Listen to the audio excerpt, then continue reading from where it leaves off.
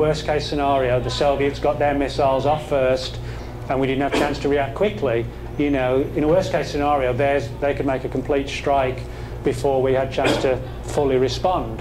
But, you know, the, the other argument is, well, everybody was watching everybody anyway, so the chances of there ever being a winner would have probably been pretty low. But the, the scenario that the military had was, well, let's say in a worst case, you know, significant parts of the US just get obliterated, how do we respond? Well, if you've got a base on the moon where you could target the Soviet Union with missiles, a huge arsenal, and just fire them down at the Soviets that way, it would make the job a lot easier. Um, and that's what Project Horizon was about. The idea was to build like a what would start off as kind of like a North Pole or South Pole outpost on the moon, which eventually would be added to and added to, and eventually be this sort of huge sprawling installation. And the plan was to put it on the far side of the moon, which would protect it even more. Um, now, bear in mind that NASA um, didn't put a man on the moon till uh, 1969. And it was only, it was only at, at, the turn of the 1960s, you know, that people even started going into space. Um, the plan that the Army had was to have the first rudimentary steps of this base in place on the moon by 1965, um, which, you know, four years even before NASA landed anybody on the surface of the moon anyway. Now, the official story is that Project Horizon was cancelled because of, for two reasons. One, budgets, and the other one, the concern about whether or not the technology was sufficiently advanced, not just to get people up there, but to sort of lower all this you know, machinery onto the surface and sort of build some sort of base, which to an extent I'm sure is quite true. You know, the, the technology may not have been that advanced at the time. But what's interesting is that in the same year, 1965, that the base was supposedly, the first steps of it were going to be secretly constructed, um, a former US Air Force man who, who again's gone on record now, a man named Karl Wolfe. Um, he said he was working at Langley on a NASA-related program and was told about photographs that NASA had taken um, on the moon, on the far side of the moon, of what looked like some sort of installation that had been built there. You know, everybody says that's alien. You know, it's got to be aliens if there's a base on the moon back in the 60s. And if there was, you know, it stands a good chance that it could well have been alien. But on the other hand, 1965 was the exact year that Project Horizon was supposedly going to get its first tentative steps onto the moon. Um, you know, is that coincidence? Was Horizon really cancelled and it just so happens that a real base built by aliens happened to be seen in the same year that the Horizon people were going to sort of venture onto the moon? You know, was Neil Armstrong really the first person on the moon? You know, these are all the questions scenario provokes, if you like. And um, another aspect of this, again, a very controversial one, is that I'm sure many of you may know, about 10 years or so ago, an Englishman named Gary McKinnon um, hacked into NASA and various other military and government installations in the US. And, you know, there's some people in the UFO community think this is sort of cool and exciting, but, you know, I tell people, you know, he's facing now like 70 years in prison in the, you know, being extradited to the US and put in a US prison for the rest of his life. Um, people say, you know, oh, you know, this, they kind of view it as being some sort of crusader. My view is that, you know, he, he wasn't a terrorist or anything like that, but he did something very, very stupid. You know, nobody should be hacking into the systems of NASA, the military, or whatever. You know, if you want to do UFO investigations, that's fine. But if you're going to do that, you know, don't complain if the government come knocking on your front door, take you away, if you're going to hack into official government systems. And that's what McKinnon did. Um, so, you know, I'm, I, I, don't endorse anybody doing that. I'm, you know, telling people, I, do not do that. Um, uh, not unless you have some sort of weird reason for wanting to end up in prison for the next 40 years, which I'm sure none of us do. Um, but what McKinnon said he saw when he hacked into the systems he said he saw a listing of military personnel that were described as, in his own words, he, he described them, the title of these, um, like a fleet of personnel, was non-terrestrial officers. And it was all like Colonel, whoever, Major, whatever, you know, Major Smith, Colonel Jones, etc. Um, and this sort of very weird term, non-terrestrial officers, the officers term kind of sounded like military non-terrestrial sounds like off the planet. and this was like a classified listing held by NASA that originated with somebody else.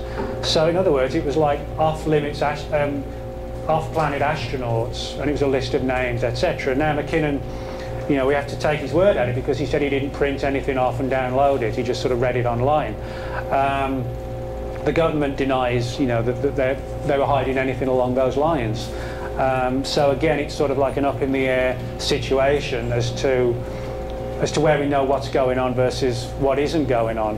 But you know, the very fact that we hear stories like this and Karl Wolfe's story in the Project Horizon documents has sort of led to a lot of theories that you know moon bases, a secret moon progr program, um, installations on the moon, and that that might explain the sort of seemingly total, uh, I guess, sort of disregard for you know the way the nation tries to advance itself in many other ways, you know, science, technology, medicine, etc.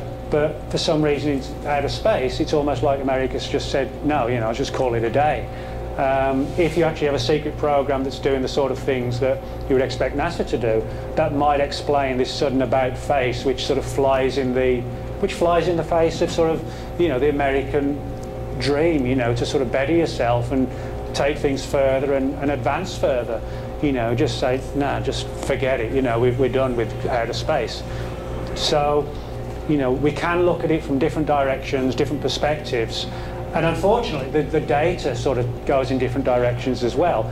You know, it's, I sometimes think it could just be coincidence that there was a secret plan to put a base on the moon by 65, but the fact that somebody happened to see this base, you know, did we really have the technology back then to secretly fly craft into space, you know, with all these different parts that would create the buildings and the tunnels to interlock them, etc., and not find out about it, you know, for the secret to remain hidden. I think, you know, that in itself is an issue that's, I won't say it's impossible, but it's, it's sort of stretching things to a, a pretty significant degree, I think.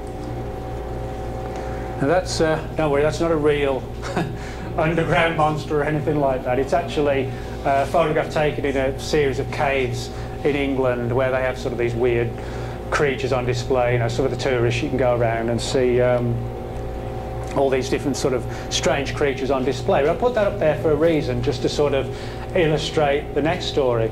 Um, one of the people who I interviewed, um, actually not too long ago, and whose story I included in the book, um, was a man, excuse me, named Walter Bosley. And Walter was a former um, officer, uh, or operative, sorry, I should say, with the Air Force's Office of Special Investigations. Um, and Walter has spoken out on the record about his father's knowledge of the Roswell story. And it's a very, it's an interesting story, it's a very weird story as well, because it sort of flies in the face of all the accepted stories about Roswell, even those coming from the government about, oh, it was just a weather balloon or whatever. And Walter's story, uh, from, or his father's story, I should say, is that in the 1960s, his father, who worked on um, space medicine programs, in other words, the way in which, you know, when human beings go into space, we want to know how people are going to react to low atmosphere, low gravity or no gravity, you know, how is it going to affect your blood pressure, your balance, that sort of thing. And Walter said that his father got this briefing about Roswell and was told that yes, the Roswell incident did occur, nothing to do with weather balloons or secret government programs. And he, was, he said he was told that it's that after investigation, spending years studying the Roswell bodies and the craft, that the government had come to the conclusion that again it had nothing to do with aliens, even though it had nothing to do with secret military programs. Um, Walter's father said that the government has supposedly learned that deep in the American Southwest, um, predominantly New Mexico, there was sort of this vast network of underground caverns and there was this ancient terrestrial race sort of semi-related to the human race. In the same way, you know, today we're Homo sapiens. Um, you know, before us there was Neanderthal man, Cro-Magnon man, and things like that. And the story was that this was another offshoot, but an unknown offshoot, um, living deep under New Mexico. The sort of the last remnants of this ancient human race, um, and that it was it was these people who were responsible for the Roswell crash. He was told that, you know, they don't like the fact that the human race, as we are, has sort of taken over the planet and infested it, and they were supposedly the original rulers of the planet, um, and you know they want to take back what's theirs. and you know they're sort of stealthily working underground for the day when they sort of return. Again, you know, was Walter's father told a truth, or was he told a lie to hide something else about Roswell? You know, we don't know, but the story relates to sort of these weird creatures living underground. And Walter's father was told, you know, that they look close enough to us that if you were to walk past them in the street and you didn't take too much of a close look, you wouldn't see any differences. If you got a bit close, you might think it was a person who'd got a, maybe a couple of genetic anomalies or something like that. Uh, and what's interesting is if we look into the history of the UFO subject, we do find a lot of stories about, like the Men in Black. You know, they, they kind of look like us, but they look weird. You know, they're kind of shorter, they're skinnier, they're really sort of super pale. Their eyes are kind of slightly offset. And that's, you know, why people say, well, they wear these sort of pulled down fedora hats, wraparound sunglasses, collars turned up on the coats, to not just intimidate people, because it actually camouflages the fact that they, they look like us, but there are a few subtle differences. If any of you have written, excuse me, read um, Whitley Strieber's Transformation book, I think it's Transformation, he talks in there about how just after his first UFO book, Communion, was published, um, one of the people, uh, the publishers who was working on the book, told a story about how he went into a bookshop and saw this strange looking couple reading the book. And he said they were small and weird, and these sort of piercing, almost like, you know, the sort of eyes that a dog has when it's about to bite you. And they were small, they had collars turned up and glasses on, and and they looked weird. You know, they looked human, but they looked not human as well. And that's coming from somebody at the publisher. So, um, you know, it, it, again, it sounds bizarre, but we can find some sort of aspects that tend to verify the scenario. You know, are they literal ancient humans? You know, are they aliens? Is it something else? You know, it's, I can tell you as far as I can take the story. You know, and that's, that's as far as we are with, with Walter's father's story right now. That's uh, the El Yunque rainforest in Puerto Rico. I've been on a number of expeditions to Puerto Rico looking for this strange creature known as the chupacabra. And the chupacabra is sort of this, well, strange animal that's described as sort of about four to five feet tall, kind of monkey-like, chimpanzee-like, but with no hair or fur, um, vicious claws and fangs, um, these large eyes, sort of wrap-around eyes almost, that supposedly at night kind of self-illuminated or glow and it has this sort of vicious row of spikes down its head and neck but sort of like a punk rock mohawk type haircut in simplistic terms I suppose. So it looks like a weird, weird looking creature. Um, now Puerto Rico, when the sightings of the Chupacabra really kicked off in the mid-1990s, this coincided with a wave of UFO activity all across Puerto Rico as well. And on every occasion I've been to Puerto Rico doing these chupacabra investigations, people have told me, and this includes like police officers, civil defence people on the island, um, that supposedly in the El Yunque rainforest, again, like with Dulce and some of these other places, there's supposedly some installation controlled by literal extraterrestrials and that the government knows about it but isn't able to do anything about it, can't control the situation. A lot of people also made sort of parallel stories with the fact that um, many reports of UFOs have been made late at night. Many of them made by police officers who are sort of often on duty, you know, late at night in the early hours of the morning, where they said they've seen large UFOs coming out of the waters, the oceans that surround Puerto Rico, you know, being an island environment. And this has sort of given rise to rumours about not like an underground base, but an undersea base somewhere off the coast of Puerto Rico. Um, you know, literally sort of deep below the seabed, kind of the, you know, you imagine the sort of things you see in like a James Bond movie, that, that type of sort of secret underground installation. Um, so that's just, that's actually just two uh, places on Puerto Rico. There's also a third one that sort of ties in with secret installations. Um, the US Navy had a quite a significant presence on Puerto Rico for a, a long time at a base called Roosevelt Roads, um, which is now closed down. It's, it's, just like an airport now. It's not, uh, it doesn't fall under the jurisdiction of the US Navy, but it was sort of like a central hub of the Navy's presence in that area for a long time. And again, from at least, at least three or four civil defence people, a couple of police officers, and also a couple of veterinarians who analysed animals supposedly attacked and killed by the chupacabra. They've to all told a story, but from their own sort of perspectives, of supposedly three or four very vicious chupacabra, supposedly having been captured in the early 1990s by what you would call kind of like um, like a, a definitive Delta Force type organisation and held in a secure location at Roosevelt Roads before being transferred out to the United States for, you know, who knows whatever purposes. Um, again, you know, it kind of sounds like something straight out of the, like the Predator movies, you know, this sort of hostile creature being hunted down or hunting down the military. Um, but again, the, the, you know, the fact that whether the story is true or not, it's well known on the island and, and a number of significant people with verifiable you know, very good credentials, military, police, etc., have spoken out about their knowledge of it, and that's one of the reasons you know I like to go back to Puerto Rico because it's, it's you know it's an enclosed environment, it's an island location, so you have a, a fairly I won't say fairly good chance, but at least you have a better chance of investigating something that's sort of static in one area than you know something that's sort of randomly flying across the sky. So there's no doubt in my mind that there's something weird going on on Puerto Rico, and I do believe you know, this creature exists or that these creatures exist. Again, what they are, you know, that's the big question. The theories amongst the people on Puerto Rico, they sort of wildly vary. You know, you have the UFO alien theory.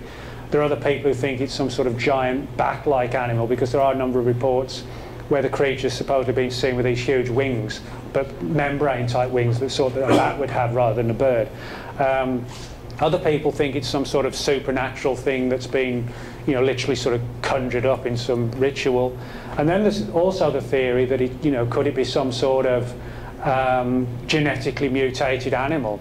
You know, like somebody's been fringe science. You know, probably 30 years ago, people have written this off. But when we see things like gene splicing today, and you know, all sorts of weird legislation put in place to not crossbreed different types of animals, you know, which has actually been researched and to an extent, you know, undertaken this has like given rise to the idea, you know, could it be some sort of real life Dr. Frankenstein type situation and the creatures have escaped, etc., and they're running loose? You know, whichever theory is correct, you know, they're all pretty entertaining and intriguing. Um, and they're still going on to this day. So, you know, it's, it's very much a continuing mystery. And that's just a, a picture of the oceans. You can see how far it goes off the coast. Now, that's the um, Philadelphia Naval Yard in, uh, in Philadelphia, um, where allegedly back in 1943 there's a famous story of what's become known as the Philadelphia experiment. And supposedly, according to legend, the Philadelphia experiment um, was an example by the military of trying to achieve radar invisibility, in other words, what today's stealth technology in aircraft offers, trying to develop radar, excuse me, radar invisibility and also um, invisibility to magnetic mines. At the time, the, the Germans had these magnetic mines, which, you know, it would be cat catastrophic if, you know, battleships going along in the ocean. Um, and basically, you know, these mines would just sort of blow the ships up. So the idea was to try and develop uh, radar invisibility and magnetic invisibility. The, the legend suggests that the military or the navy was doing sort of these very weird fringe science experiments and inadvertently, not deliberately as many people assume, but inadvertently rendered the ship literally optically invisible, you know, kind of invisible man invisible. Um, and the story is that it had a lot of drastic and terrible side effects on the crew members. People went mad uh, others died, etc. Some were supposedly just vanished in the blink of an eye, never seen again. Uh, you know, whether it's true or not, you know, even the Navy doesn't dismiss something happened. They say, well, yeah, we were doing experiments, and the, the, but they, that, what they talk about is the radar invisibility and the magnetic invisibility, and they said a lot of these stories stemmed from that word invisibility, and people sort of put two and two together and made ten and assumed, you know, we're talking about literal invisibility. Um, but then the Navy changed its story and added another aspect to it and said that some of the experiments they were doing resulted in like what called like corona discharges where you see you know like lights etc and sort of weird phenomena. And they said well that accounts for some of these stories about people hallucinating and seeing strange things. But it was actually it wasn't an addition to the story it's like a change to the story which that's kind of like the Air Force has done with Roswell. You know, it's changed its story like four times now on what happened at Roswell. Uh, first it was a weather balloon, then it was a mogul balloon to test for, uh, excuse me, first it was a flying saucer That was the official response. Then it was a weather balloon. Then it was a mogul balloon to, to, um, to search for atomic explosions by the Russians. Then they said, that first they said there were no bodies. Uh, and then they said, well, there were bodies, but they were crash test dummies used in high altitude parachute experiments. But, so that's just an aside. What's intriguing, in the same way the Air Force has changed its story on Roswell, so the Navy has changed its story several times on the Philadelphia experiments. Now, people have claimed that these experiments at Philadelphia um, were basically hastily shut down by the government, who said, you know, we're not, not sure what we're dabbling in, so we're just going to shut it down. But the story was that in the 50s, the program was reopened again at a place called the Montauk Air Force Station on Long Island, which originally called Camp Hero, then it became Montauk, and now it's closed down, it's actually a state park. But back in the 70s, 80s and 90s, there were a lot of rumours that supposedly the Philadelphia experiment research was undertaken at, um, at Montauk. Um, and, you know, when we talk about things like invisibility and then the outgrowth of that was things like um, teleportation, you know, the sort of thing that you see in Star Trek that worked very well and that didn't work so well in The Fly. And, and um, you know, you have this sort of this sort of technology that sounds, you know, absolutely fringe technology people say, you know, there's no way this could be going on. You know, there's no way the government could be researching invisibility and teleportation. It's just not feasible. Uh, but I use the Freedom of Information Act to actually get hold of a, a US Air Force document, actually from only about 10 years ago. It's called the Teleportation Project. And the US Air Force actually contracted out to a private body in Nevada to, to, to determine the feasibility of whether or not teleportation could be achieved. Now, the official result was that, well, it's not impossible that it could be achieved, but today's technology just doesn't allow for it. But the very fact that we now know that the government secretly did or quietly did research the area leaves the door open, you know, to the possibility that some of this could have been tied in, or additional research, I should say, could have been tied in with things going on at Montauk. Now, as I said, you can go to Montauk today, to State Park, but there are a lot of people who claim that the old lower levels of the base are still in operation. You know, it's I, I don't know. Um, so that's that's sort of the story of Montauk, which you know, if you if you Google Montauk plus Philadelphia experiment, I think you know it's one of the one of the areas where there's so many books published on it. You know, you can just find masses of material. Um, so I hope that's sort of given you sort of an insight into some of these locations. But um, you know, as I said throughout, what we know about these installations in terms of what we can prove is going on, what we think's going on, what might be going on, what some people tell us is going on, but their stories are based on you know situations and information related to them, you know, by somebody else. It's really difficult to, you know, to sort of really nail it and say this is what we can say about this base. And that's, you know, one of the primary reasons is because many of these locations, if not all of them, are off limits to the general public. So to a degree at least, inevitably, you know, stories and rumours and legends are going to develop. That, that, that always happens, you know, where there's a, oh, there's a secret place, you know, and it's kind of like with lake monsters and things like this and Bigfoot. You know, I do a lot of investigations into these areas, but wherever you get kind of a mysterious lake, legends develop about the creature in the lake or somebody went missing swimming in there once. You know, it doesn't mean all these stories are folklore, but it means sometimes the human mind, you know, we, we're fascinated by mysteries. So, as I said, I hope that's given you a sort of an insight into just a handful, you know, these off-limits installations around the world. And uh, if anybody's got any questions, I'll be pleased to answer them. New Mexico. Uh-huh. You mentioned Paul Bennewitz. Uh, yeah. Passed away. What about Thomas Castello, who evidently never did exist, and Phil Schneider, which is a wealth of information on his speeches on the internet mm -hmm. about that, uh, where he was allegedly in a fight with Reagan and he had his yeah. fingers. Yeah, yeah. I mean, there's a lot of people who've spoken out about their alleged involvement in the Dulce story or knowledge of it. Um, some of them are military people, some intelligence people. Um, the one of the most recent ones. Um, actually a guy who came forward but didn't come forward under his own name or his public name or whatever. So, you know, again, it's, um, it's sort of to a degree it's hearsay. But this came to a, re a Dulce researcher named Anthony Sanchez, and this military guy told him there are actually three installations, not just one. Um, you know, I don't dispute the possibility that the, the base exists. one of the main reasons being there's all this verifiable weird activity in Dulce. You know, as I said, that that's not hearsay about that atomic little detonation. You know, Did you to go up there physically? uh, I've been to. I haven't been up the, the mesa, but I've been to the mesa. But um, yeah, I mean, but there's nothing. You know, on the outside at least, there's nothing strange about the mesa. It's just a, a The huge mesa. won't even go up there. No, they won't. They have a lot of superstitions about it. Um, and, you know, so we, we know strange stuff's gone on in the area. That's what leaves me, or leads me to